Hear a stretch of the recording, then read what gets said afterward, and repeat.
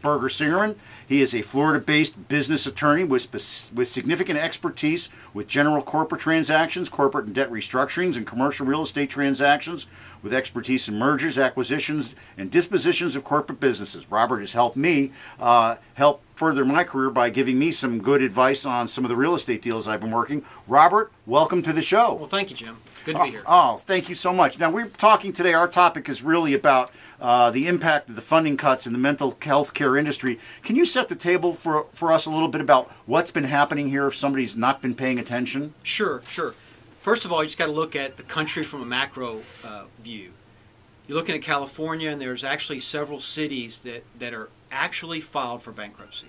And even in our state, in the state of Florida, uh, funding for mental illness uh, care is at frankly all-time low. If you look at uh, just a recent study of the the the National Alliance of Mental Illness (NAMI) uh, that they did in 2009, which is the most current numbers we have, per capita spending in the state of Florida for mental illness services is about $41 a person. The national average is around $123 a person. Well, that's not even a copay. Yeah, it's just incredibly low for, for, for funding of mental health services. That's just that's just unconscionable. I mean, some of these mental health people that, that come in there, they're some of our most at-risk people. So, how is this issue being addressed in the marketplace today? Well, part of the challenge you have is is that you know connecting the, the bankruptcies in California is that both the federal state, and even local governments just don't have the funds to raise funding uh, for these services. And so, one, one thing that we're seeing is that uh, mental health service organizations are considering merging, combining with other organizations to frankly cut costs and to continue to provide those services at, at low, lower funding. Well, that makes a little bit more sense because they're they're gaining efficiencies, but that seems to be just a short-term fix. There's only so much cost efficiencies that you can have, so much so much merger, so many positions that you can eliminate before you start getting uh, hitting meat and bone. Well, you know, it's it's true. Uh, and the other the other challenge with frankly the the merger, the combination uh, strategy, is that if the cultures are not similar, if they cannot work together, then it actually could be worse than better. But just recently, in uh, in July of this year, we had four nonprofits announce that they would merge into one entity called Grace Point in the Tampa area, and that's now, exactly what they did. So, and how's that been working for them? Is well, that is that sort of like a trend? It's it, it, it, probably will be, and we're seeing more of it. it. It's it's too early to tell because, frankly, you announce it in July. It takes several months to have it actually close, and so so we'll probably have to look back sometime next year to see how those efficiencies have come to come to fruit. And so we'll see, however, more and more of mental health service organizations that will first step from the first step take the merger consolidation route.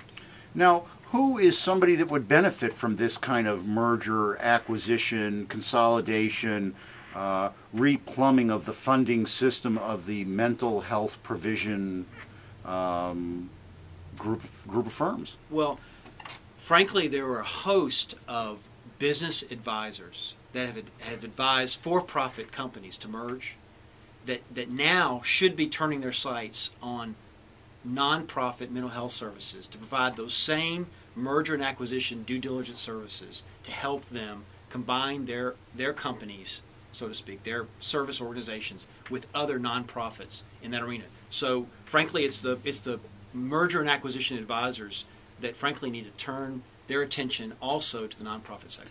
Now, the nonprofits, they've always been uh, focused on grant writing, uh, getting uh, refunded, having their funding um, every from year to year, I guess zero funded, bringing their funding back from whoever their constituents may be. It seems to me that perhaps the talent pool in the 501c3 nonprofit world may not match up with some of the opportunities that you're talking about. How is that something that can be addressed by the business community? Yeah, see, that is a challenge because frankly, they've got the talent. It's just the talent is focused on serving the people who need mental health services and frankly, their budgets have not been sufficient and capable enough to funding, if you will, the director of business development or joint venture development or merger and acquisitions. Obviously, that's not even part of their business plan.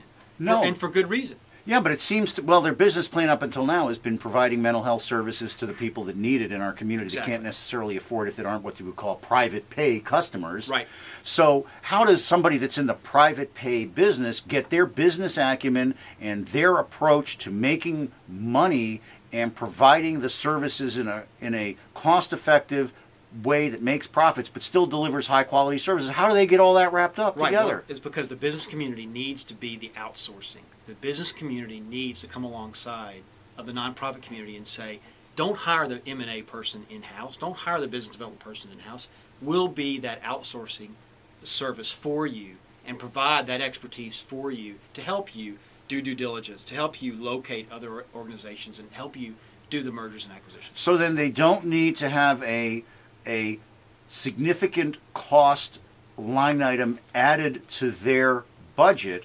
Instead, they can be flexible, find the appropriate consultant from the private sector. That consultant can bring their private sector expertise to the table, and this type of combination is the future of our healthcare industry. Exactly. Well, it's and I would say I, I need to be careful. It's not the future of 100% of the, of the industry. Right. But 10, 20, 30, 35% of the funding, if that can come from business transactions, it would be a huge difference in this, in the providing of care. Well, we're noticing that there, that Medicare, Medicaid, you know, public funding for healthcare is, while it's not in the forefront of the debate, and I guess that's probably because both candidates don't want to tell the truth about what's going to have to happen.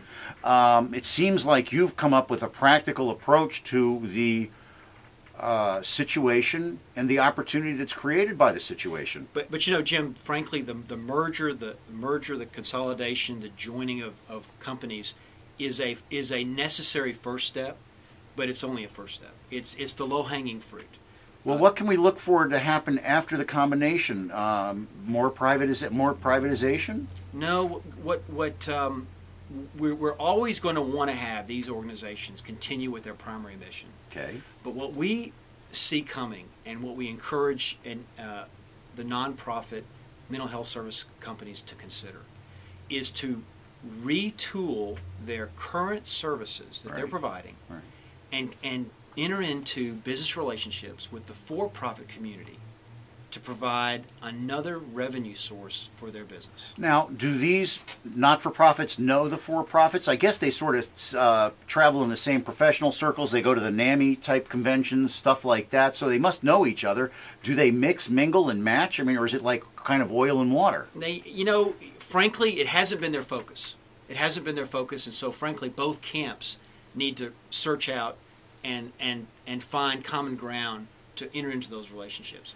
It sounds to me like then they need a consultant, an intermediary, some somebody that can help them identify the pitfalls, help them get comfortable if they're the 501c3 in the public in the private sector. The private sector needs to understand the the nuances of the public sector. It sounds to me like like uh, there's good opportunities, but the people might be stuck dancing on different sides of the room. Reminds me sort of a fraternity party until somebody gets in there and decides I'm going to dance with with that person over there, and then suddenly it starts, and and maybe that's this grace point thing is is the first couple dancing. Well, frankly, one of the reasons why we're here today is to to stimulate the community to start thinking like this, to start thinking about a, a forward way to provide additional funding for these services. Let me give you an example.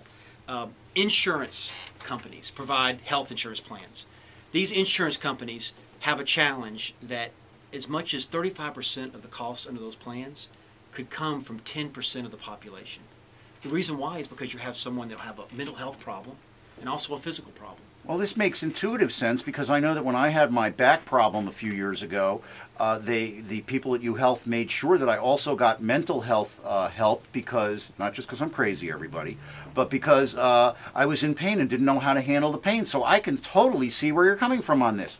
Exactly. Well, the insurance companies realize that if, if we can help treat the mental illness, we can save money on the physical illness. It's the, it's the, it's the depressed diabetic that if he doesn't take his meds, we may have to amputate a toe or something. So it's very, very important in that setting to have a mental health service combined with the for-profit insurance policy to save money. Oh, sure. I mean, another example might be that somebody is on a medication and they take the medication for some particular uh, malady. The malady, when they take the medication, goes away, so they stop taking the medication. The malady comes back, and they're on and off and on and off and on and off, and they just can't get it straight because they think that they're doing the right thing, but what they're really doing is a peak and valley. Yes, absolutely. So, so frankly, we think board members, boards, and executives of mental health in, uh, uh, organizations need to be thinking outside the box of ways that they can maximize funding by getting, entering into these kind of business relationships. Well, this sounds great. Robert, I want to thank you for bringing this type of an opportunity to our listeners' attention, and I hope that you and Berger Singerman will come back with more good, solid business ideas like this for our community in the future. Thank you so much for being a thought leader on the on the health and wellness uh, industry here, and we look forward to having Berger Singerman here with us again and in the future as a sponsor on the show, and I want to thank you so much for being on today with us. Thank you, Jim. Appreciate it. It's my pleasure. We'll be right back after this short break with our good friend Rob Denton from True North Financial.